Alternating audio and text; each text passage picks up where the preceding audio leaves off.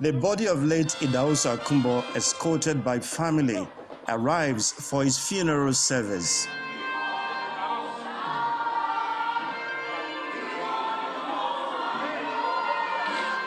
The family is joined by close associates, friends, and top government functionaries to pay last respect to the late business tycoon.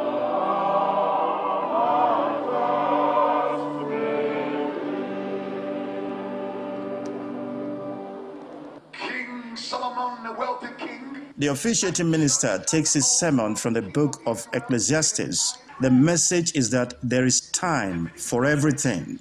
a time to cry and a time to laugh,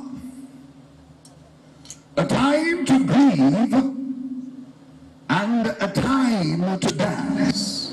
Who feels it, they say, knows it, as Captain Okunbo's children extol their father. He um, he wasn't too busy to impact people. He wasn't too busy, no matter the heights he got to, to touch lives.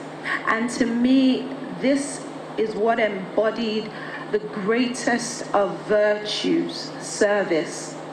the greatest tribute you can give Captain Idahosa Wells Okunbo is to continue to live in love and let mercy be your guiding light. Speaking on behalf of the government delegation, Governor Godwin Obaseki describes late Idahosa Wells as an exemplary Edo citizen.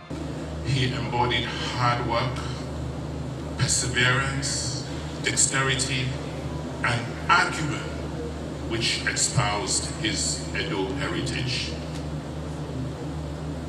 Captain was a philanthropist who gave lavishly of himself and his resources.